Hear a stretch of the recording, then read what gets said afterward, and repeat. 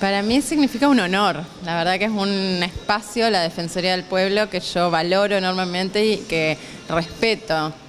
Eh, considero que es un espacio de construcción de ciudadanía y es un espacio institucional en el que me gusta estar, del cual me gusta ser parte, me honra ser parte. Estoy desde el inicio de la institución en el año 2003 de diferentes maneras, empezando como mediadora voluntaria para luego poder ingresar al equipo del centro de mediación como personal y siempre estuve, me siento ligada a la institución de una manera afectiva, además, por todo el crecimiento que tuvo la institución desde su inicio, que va paralelo a mi crecimiento profesional. Sí, es de destacar que tanto la Defensoría del Pueblo como el Centro de Mediación Comunitaria son organismos relativamente nuevos, ¿no?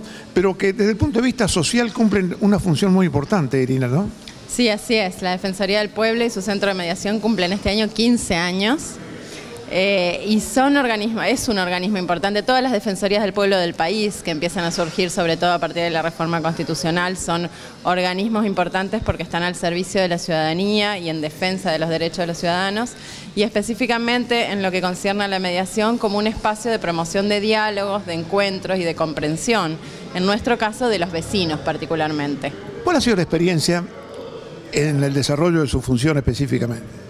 Una experiencia sumamente enriquecedora de crecimiento, como he dicho, junto con la institución en el que hemos, hemos podido ver en todo el camino cómo eh, la mediación se va instalando en la ciudad, como de ser algo que teníamos que explicar mucho y las personas no sabían de qué se trataba cuando nos acercábamos cada vez es algo más reconocido, tanto por los ciudadanos como por otras instituciones de la ciudad que hacen referencia al Centro de Mediación y la Defensoría del Pueblo como espacios legitimados para el diálogo. ¿Es difícil el abordaje? Sí, claro, pero siempre hay mucha, muy buena disposición. Cuando las personas ya aceptaron venir a la mediación es porque hay una disposición y un interés en el diálogo.